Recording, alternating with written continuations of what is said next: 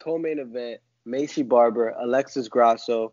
Um, it's a good female fight. I mean, I got Alexis Grasso in this fight. you got Alexis Grasso over Maycee Barber. Yeah, Yeah. Why? she got good boxing. Um, she, she takes people to the ground. She she doesn't mind striking. Maycee Barber, she's she's rugged. She likes to put a lot, dominate a lot of power, like over overwhelm her opponents. But I think Grasso is going to uh, tag her pretty good. Keep her think Maycee- thinking twice. You think Maycee Barber is like a hype train? You don't think like she's as good as like like, No, I like think, her I hype think and shit? nah, uh, she's good, but she's young. She's 22, bro. Yeah, no, yeah, exactly. She's young too, and like she's good. But I've seen Alexa Grasso like looking at her fights in the UFC, and she like she beats these females in, uh, in the ring. So Maycee Barber does the same. She she's mean in the ring, but I Yeah. Alexa Grasso is gonna is gonna stay in Maycee. Barber's coming off her first loss though, first loss of her career.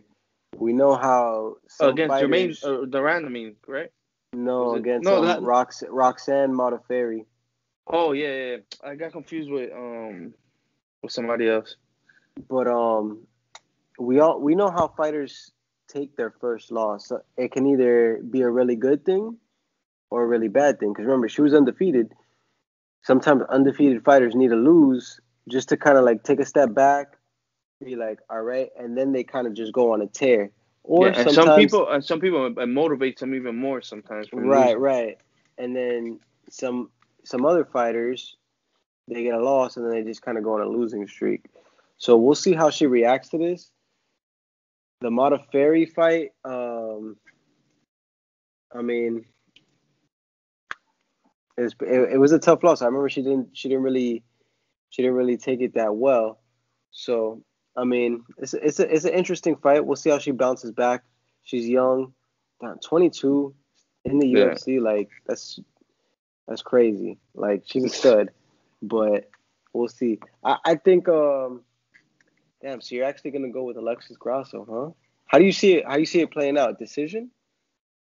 Yeah, po- possibly decision. Um, if Alexa Grasso could keep her off of her, I think Alexa Grasso could um pick her apart in the striking range I'm not mad at that. at throw all. more, throw throw a lot more volume. Yeah, I'm not even mad at that. I can see that too. Yeah, It's a toss up for me. Honestly, yeah I think it's a close fight, but it's a I toss understand. up. It's a toss up. like these breakdowns, make sure you look at the other videos that I have and subscribe now to our MMA 420 YouTube channel, now on Instagram at underscore MMA 420 underscore.